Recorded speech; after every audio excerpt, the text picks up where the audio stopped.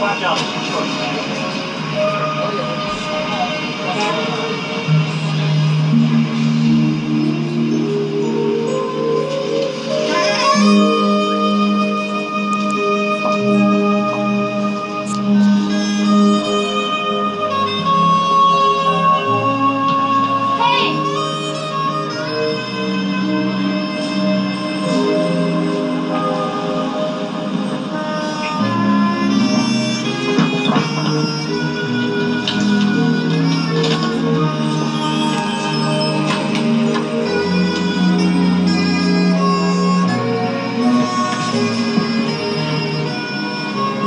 your boots.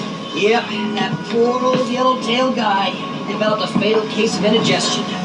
Died right in my arms. I can't blame him. If I were to die, there's nowhere else on earth I'd rather be. I couldn't stop thinking about you. I even read one of your books. Then you know how they all end.